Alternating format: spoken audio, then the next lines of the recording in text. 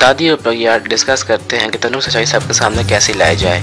प्रज्ञा दादी से रिक्वेस्ट करती हैं कि वो अभी को कन्विंस कर इवेंट के लिए वरना अभी और प्रज्ञा के डिवोर्स की सच्चाई सबके सामने आ जाएगी। दूसरी तरफ़ राज एंड आकाश अपने बिज़नेस के बारे में डिस्कस करते हैं।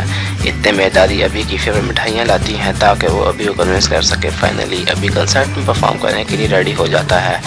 अभी प्रज्ञा वो कहता है कि है कि वो कंसर्ट में परफॉर्म करने के लिए रेडी है बट प्रज्ञा उसके इरादों पर शक करती है। दादी प्रज्ञा से कहती है कि फ़िक्र मत करो, बहुत जल्द तनु का साथ सबके सामने होगा। कुछ देर बाद अर्चना सल्ला के रूम से सल्ला को बाहर लेकर आती हैं व्हील चेयर पर बट वो अपने बच्चे को देखने के लिए चली जाती हैं। सल्ला को अकेला छोड़कर तनु वहाँ आती है और सल्ला की व्हील चेयर को धक्का दे देती है।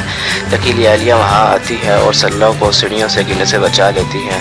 अभी आलिया को थप्पड़ मारने वाला होता है, ये सोच करके आलिया सल्ला को सीढ़ियों से नीचे लाने की कोशिश कर रही थी बट प्रज्ञा उसका हाथ रोक लेती है अपकमिंग एपिसोड में हम देखेंगे कि प्रगिया और अभी काफ़ी रोमांटिक डांस करते हैं please subscribe for many more.